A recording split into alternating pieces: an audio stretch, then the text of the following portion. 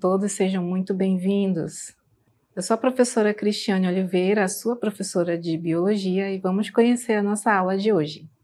Aula número 16, cujo objeto de conhecimento é Sistema Imunológico e o Sistema Linfático.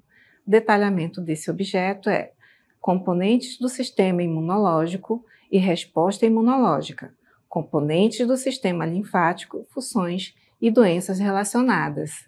Então, vamos começar a nossa aula.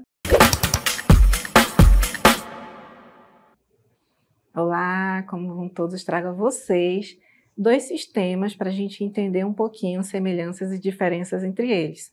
Mas vocês vão observar que com o passar da, de cada quadro apresentado aqui, vamos ter mais semelhanças e uma integração muito grande. O sistema imunológico ele é fundamental para a saúde e o bem-estar do corpo humano.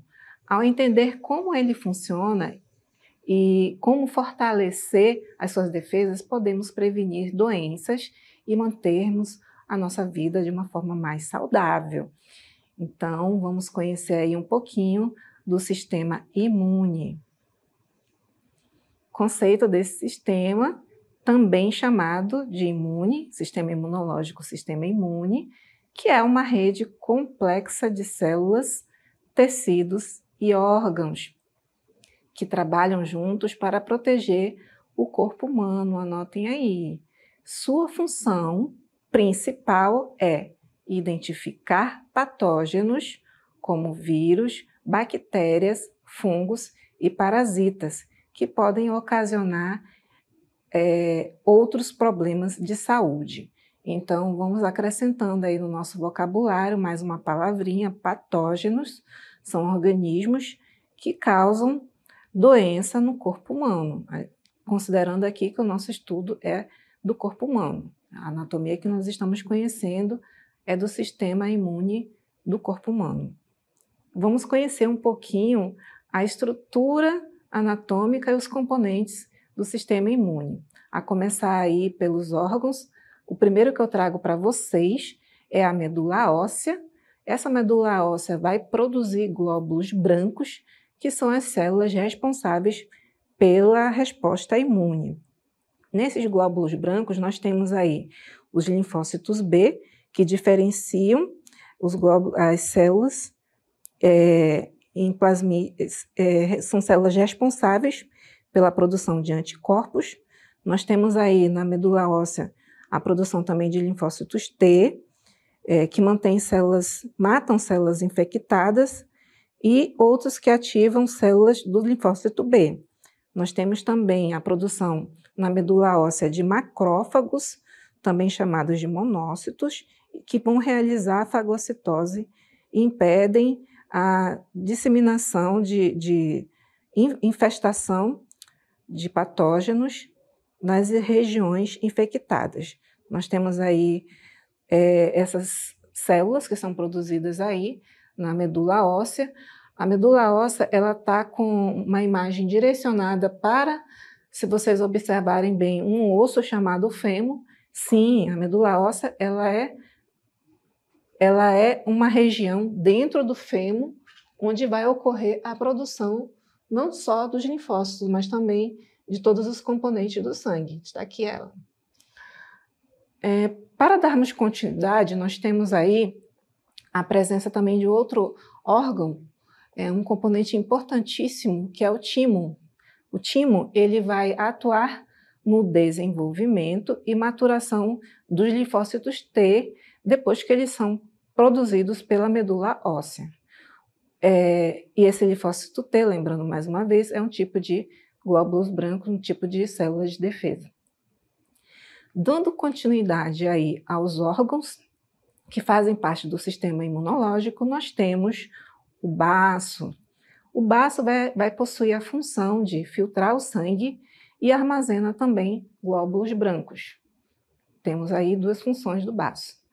Linfonodos, faço a observação aí dos linfonodos na imagem, é, atuam como filtros para a linfa, que é um líquido que vai está presente na, em toda essa estrutura que vocês é, estão observando nesse esquema didático do corpo humano. Se vocês observarem, tem muitos fios verdes, na verdade, na coloração verde. Esses aí são canais por onde está passando a linfa e cada pontinho desse, que parece um carocinho de feijão, é um linfonodo. Nós temos também aí a participação da, das placas de pé, que são aglomerados de tecido linfóide no intestino delgado. Olha aqui, nesse esquema está sendo apresentadas as placas de pé que protegem contra patógenos presentes no alimento, fazendo um adendo aí uma relação entre as placas de pé e o sistema digestório, para você ver que também temos a atuação aí de, de componentes de defesa durante a digestão de alimentos, porque acontece às vezes de nós nos alimentarmos de uma, de, de uma substância já contaminada, de um componente com patógeno, infectado com patógeno, e aí o nosso é, primeiro momento de defesa, quando a gente ingere esse nutriente, é que temos um mecanismo que vai atuar ainda no processo de digestão, antes que aconteça a absorção desse alimento, desses nutrientes, com os contaminantes, que possivelmente são os patógenos, são invasores nesse caso aí. Vamos dar continuidade. É, falando um pouquinho mais do sistema imunológico, antes da gente entrar na particularidade sobre doenças relacionadas ao sistema, é, é importante que vocês entendam que ocorrem algumas formas, alguns mecanismos de defesa que são chamados de barreiras físicas e químicas, como foi apresentado anteriormente. Temos aí o sistema imune inato, que vocês já, é, é, a, a princípio, nós já nascemos com esse mecanismo de defesa contra a presença de patógenos. Temos o sistema imune adaptativo, que é específico para cada invasor, ou seja, nós temos aí células é, de defesa específicas para determinados a, a patógenos. Nós temos também é, a memória imunológica, que é, que é quando você adquire um mecanismo de defesa após uma infecção. E o seu corpo vai possuir essa memória para combater o, o patógeno caso ele volte a incomodar o nosso corpo, o nosso organismo. E também tem um mecanismo muito estranho, porém presente, que é o que nós chamamos de autoimunidade e tolerância, que quando o sistema imunológico é capaz de distinguir a diferença entre as células do próprio corpo e não é capaz, na verdade, de distinguir e as células estranhas. Essas condições, em condições anormais, quando isso acontece, né, a, a, ocasiona um desequilíbrio do, do nosso sistema imune, que nesse caso, as próprias células de defesa do corpo vão atuar em cima de células saudáveis do corpo. E aí trago para vocês o primeira, a primeira doença relacionada ao sistema imunológico, que são as doenças autoimunes. O que, que são elas? O sistema imunológico ataca essas células de defesa, como eu falei anteriormente, do próprio corpo por engano. Alguns exemplos aí da, dessas doenças, nós temos a artrite reumatoide e a diabetes tipo 1 e o lúpus. Costumo falar, quando, quando eu quero explicar melhor sobre, é, em outras palavras, né, em termos não tão técnicos, que o nosso corpo, dependendo do, do, da predisposição dele, ele acaba nos sabotando. As doenças autoimunes, eu chamo isso de de uma, uma espécie de sabotagem do nosso próprio corpo, porque elas vão atacar células saudáveis. Então, vamos entender um pouquinho mais, voltando aí, nessa mesma. Né, voltando, vamos entender um pouquinho mais sobre a doença autoimune. É, trago para vocês um outro exemplo que é chamado de doença a psoríase, não sei se vocês conhecem, que acaba ocasionando aí a descamação de certas partes do corpo. Tem muitas pessoas que têm uma predisposição, inclusive para psoríase, porque é uma predisposição genética, mas algumas doenças autoimunes também podem ser desencadeadas por fatores ambientais, como infecções e exposição a toxinas. Uh, nós temos também os fatores hormônios, onde algumas doenças são mais comuns em mulheres, sugerindo que os hormônios podem desempenhar esse papel. Nós temos também a disfunção imunológica, que nesse caso o sistema imunológico disfuncional pode atacar erroneamente tecidos saudáveis e apresenta aí a vocês essas condições para se manifestar as doenças autoimunes. Mas não existe só esses exemplos aí de doenças relacionadas ao sistema imunológico. Nós temos outra, outras doenças chamadas de imunodeficiências, é, que nesse caso o sistema imunológico, é, quando enfraquecido, torna o corpo mais suscetível a infecções. Só que ele pode estar enfraquecido por vários fatores. Apresento a vocês aí um exemplo muito importante, que é uma ICT, uma infecção sexualmente transmissível, conhecida como AIDS, né? A síndrome da imunodeficiência adquirida, que em português é a SIDA. Ela é, é ocasionada pela infecção, pela, vamos dizer assim, invasão do, do vírus HIV no corpo. Ele vai atuar é, em células de defesa, onde ele vai começar a ter uma certa resistência até neutralizar esse processo de defesa, tornando o nosso corpo é, suscetível a outras infecções. Então, isso aí é o que nós chamamos de, voltando aí, mais uma vez, imunodeficiências. São as doenças de, é, do sistema imunológico. Para darmos continuidade, eu quero apresentar a vocês um outro sistema, não para confrontar e nem para tornar mais difícil a assimilação do, do sistema imune, mas para apresentar a vocês esse sistema como um, uma forma conjunta de ação ao que eu expliquei anteriormente. Né? Ah, só fazendo um adendo aqui, antes de passarmos para esse sistema que eu vou explicar para vocês, como é que a gente trabalha o fortalecimento do sistema imunológico. Nós trabalhamos é, para evitar é, adquirir determinadas infecções com alimentação balanceada, de preferência, uma alimentação com, produzida com uma certa higiene, com certo cuidado, para a gente evitar é, agentes patógenos que contaminam a, aquele alimento que a gente adquire. Sono regular também é importantíssimo para fortalecer o sistema imunológico. É, não, é, não quer dizer que você tenha que dormir exatamente sempre oito horas ao dia. É, é, você manter uma estabilidade dentro do seu descanso. Tem gente que consegue descansar com sete horas, tem gente que consegue descansar com nove horas, mas o importante é você manter esse equilíbrio, essa estabilidade para trabalhar a questão do fortalecimento da defesa da, da imunidade. Nós temos aí também como fator práticas de exercícios físicos que vão fortalecer a nossa imunidade, controlar o estresse, que o estresse já está mais do que provado, é um fator que contribui muito para a, o enfraquecimento do sistema imunológico e torna o nosso organismo propenso a determinados patógenos e algumas condições também do corpo humano enfraque, já enfraquecido. E também é importante evitar, veja bem, evitar o consumo de tabaco e, e álcool. É claro que em determinadas culturas é impossível é, a gente separar essa questão, por isso a palavra enfatizada aqui, evitar, é, ou quem já consome, né, não tem como, diminuir esse consumo até cessar ele, principalmente quando você já tem uma predisposição para alguma doença nesse caso aí, que vai atuar enfraquecendo o sistema imunológico.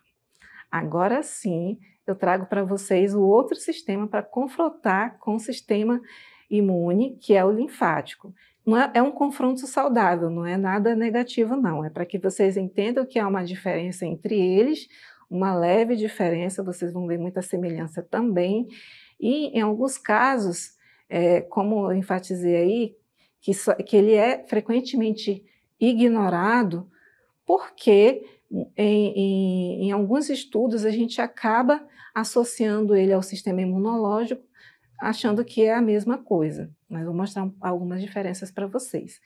Então, ele é uma rede complexa e vital que atua como um sistema de defesa silencioso do corpo. Até aí parece muito, parece muito com o sistema imune. Só que eu falei rede de defesa. Enquanto que o sistema imune ele vai trabalhar principalmente produzindo o, as células de, de, mecanismo de defesa, nós temos também os compostos, é, é, esses componentes importantíssimos, que são os vasos, os capilares, órgãos e linfa, sendo que esses órgãos eles já foram, alguns deles apresentados no sistema anterior, e ele, o sistema linfático, desempenha funções essenciais para a saúde e bem-estar que eu vou apresentar a vocês a seguir. A primeira função importantíssima do sistema linfático é drenagem de líquidos. Sim, é a coleta, o excesso de líquido intersticial dos tecidos, evitando inchaços e promovendo equilíbrio hídrico. Ele também vai atuar no transporte de nutrientes, onde absorve e transporta gorduras e vitaminas do intestino para o sangue. Olha aí, mais uma vez, a associação do sistema digestório e associação com o sistema cardiovascular e aí também o sistema linfático. Olha só que interessante essa intersecção, né? essa coisa em comum e também vai atuar na resposta imune, combatendo infecções e doenças através da produção e transporte de células brancas do sangue, que são chamadas de linfócitos, tá? Aí nós trazemos alguns componentes, até aí já a gente consegue diferenciar. Aqui começa a, a, a, o, o, que, o que torna comum entre os dois sistemas e faz com que a gente confunda a função de cada um. Vou apresentar a vocês os órgãos do sistema linfático. Olha aí, gente, mais uma vez, a mesma imagem, e foi proposital para mostrar para vocês esse esquema didático, mostrando aí o timo, mostrando os linfonodos, o baço e a medula óssea, mas vocês conseguem observar qual é a diferença dessa imagem para a anterior? Posso falar para vocês. São as placas de pé. Elas não vão estar presentes aqui como órgãos comuns entre o sistema linfático e o sistema imune. Os linfonodos, no caso do sistema linfático, né, que são pequenos em forma de feijão, como eu falei anteriormente, estão distribuídos por todo o corpo. Embora nós temos aí um esquema mostrando, apontando apenas um, se vocês observarem, cada pontinho verde desse é um linfonodo. Observem nos quatro membros, na, na parte torácica, todo o corpo tem linfonodos. Nós temos também a presença de baço, nesse caso é um baço, que é o órgão do, também do sistema imunológico, prestem bem atenção, e ele vai armazenar, nesse caso aí da função linfática, glóbulos vermelhos também. Filtra o sangue e elimina as células danificadas. Então, para dar continuidade aí, nós temos mais outras funções dos mesmos órgãos do sistema imune, que são o timo. Para, para o sistema linfático, ele é responsável pelo desenvolvimento e maturação do linfócito T também, é, e são cruciais para a defesa contra infecções. Nós temos também aí a participação, mais uma vez, da medula óssea no sistema linfático, porque é onde vai produzir células do sangue, principalmente os glóbulos brancos. Até aí, professora, tem muita coisa em comum? Tem. Tem porque são órgãos que vão atuar em dois sistemas em determinados momentos com funções diferentes. Vamos entender um pouquinho aí é, algumas doenças relacionadas a esses sistemas. Nós temos aí a, doen a primeira doença que eu trago, existem muitas a princípio, né? Mas eu trago aqui para vocês dois exemplos bem importantes, característicos de doenças relacionadas ao sistema linfático. A primeira delas é o linfoma, que é um câncer que se origina nos linfócitos, podendo afetar, olha aí bem, podendo afetar qualquer parte do corpo. Olha aí que coisa interessante. Por quê? É, nós temos aí vários é, linfonodos, né? Pode se desenvolver em, em qualquer um deles. E esse linfoma, que é um tipo de câncer, ele vai se originar a princípios nos linfócitos, que são as células do sistema imunológico presentes no sistema linfático. Existem dois tipos né, de linfomas, e cada um deles com características específicas. As causas dos linfomas ainda não estão completamente compreendidas pelo corpo científico, tá? Existem pesquisas, mas é, é, nada bem determinado com relação a essas causas. Mas há vários fatores que podem aumentar o risco de desenvolvimento dessa doença. A primeira delas é o fator genético.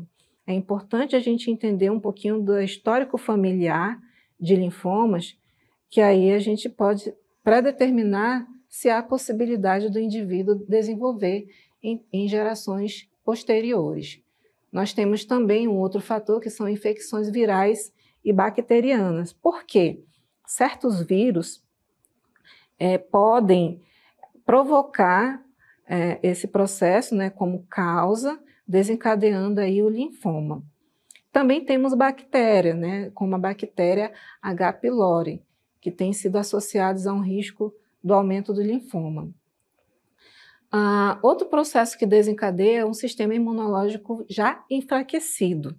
Né? Pessoas com sistema imunológico comprometido, como aquelas que possuem a síndrome da imunodeficiência adquirida, ou aquelas que tomam muito medicamentos imunossupressores, são suscetíveis a, a desenvolver o linfoma. Existe também a exposição de toxinas, como produtos químicos, como pesticidas e solventes, que podem aumentar o risco também do desenvolvimento do linfoma, assim como as doenças autoimunes que a gente apresentou aí relacionadas ao sistema imune. Então aí são alguns fatores que vão desencadear o processo da formação do linfoma. O linfoma é um tipo de câncer lembrando mais uma vez a vocês. Aí, no outro esquema, nesse mesmo esquema, eu trago também uma outra doença, que ela é chamada de elefantíase, inclusive tem uma imagem aí ao lado retratando, porque lembra a palavra elefantíase, lembra, lembra elefante, né? Se vocês observarem, tem um membro inferior muito inchado, como se fosse assim uma uma pata de elefante, por isso que ela tem essa designação. Então, a elefantíase, que é uma doença crônica, é causada pela obstrução de vasos linfáticos que leva ao inchaço progressivo desses membros. É, também conhecida como filariose linfática, pois é uma doença tropical é, causada por infecções parasitárias. Olha só que coisa interessante, né? Existe aí uma causa e é uma infecção parasitária. Essa condição aí leva ao inchaço, como vocês podem ver na imagem, extremo de partes do corpo, especialmente pernas, braços e, acreditem, órgãos genitais e mamas. A elefantíase é principalmente causada por nematódios, que são vermes, transmitidos por mosquitos. Olha só que importante. Ela é endêmica, tá, gente? Não está espalhada pelo mundo todo, não. Causa, né? Tem três tipos de vermes parasitas que podem estar presentes dentro desse inseto e à medida que ele pica, ele vai transmitir também esse parasita. A transmissão é pela picada, como eu falei para vocês, de um inseto já infectado, né? E e é isso.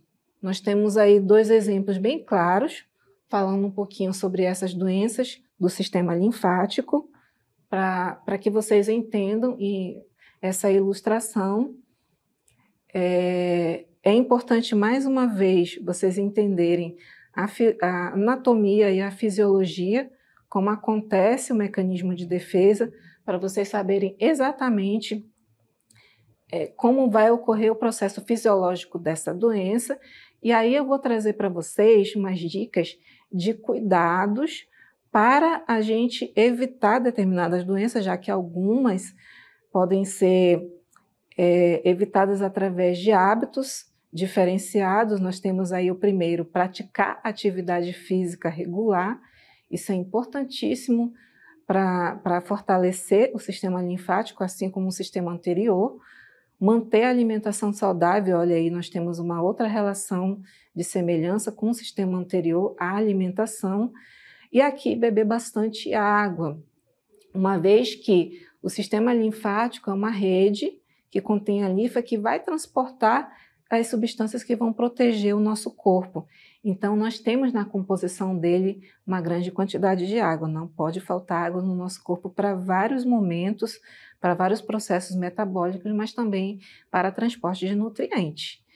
E uma coisa interessantíssima, para quem tem aquele chamado retenção de líquido, a propensão de retenção de líquido, que parece que você está com o corpo inchadinho, quando até algumas pessoas até conseguem identificar essa retenção, às vezes isso aqui não é, um, não é uma coisa generalizada, mas às vezes quando você consegue identificar essa retenção, é quando você pressiona a pele e aí você vai sentir uma diferença na, na, na camada mais superficial dela, tanto na coloração quanto no aspecto físico, né? Que ela vai afundar um pouquinho.